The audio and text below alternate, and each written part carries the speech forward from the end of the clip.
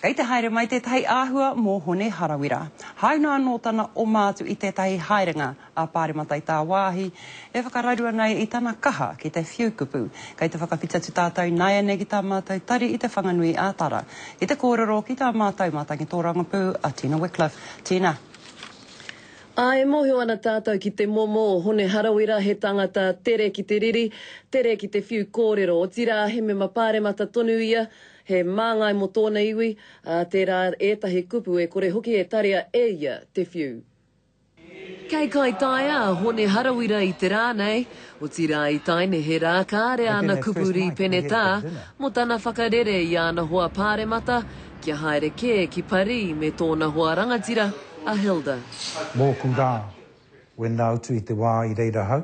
Otirā, kei te kirikawa tēnei kaitaunaki i te Pāti Māori, nō reira i tuhi īmēra ia ki te mema mō Te Tai Tokerau. So I just asked in a half joking fashion, well who paid for Hilda then?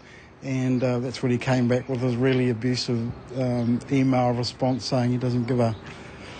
Anei te whakautu a Harawira. Do you believe that white men bull too, do you?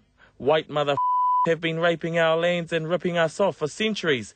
If I get the chance to take her with me as part of my role as an MP, I will. I don't give a what you or anyone else thinks. Ah, hei whakakapinga.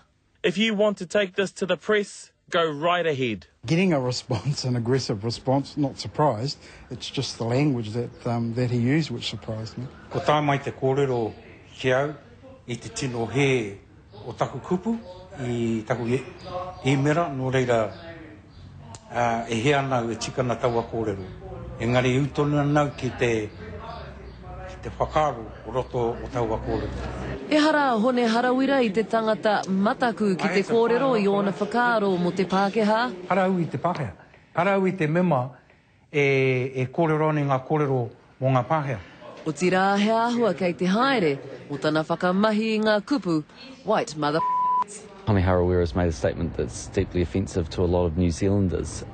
I puta ngā whakahē a Tareana Turia mō Hone Harawira i runga i te reo irirangi, engari kāre anō rāua kia kōrero ā-kanohi.